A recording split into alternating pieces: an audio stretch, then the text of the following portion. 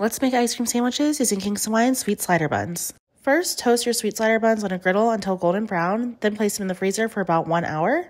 Then you're going to scoop your ice cream and place it on the bottom bun and then cover with the top bun and press until your ice cream reaches the edge.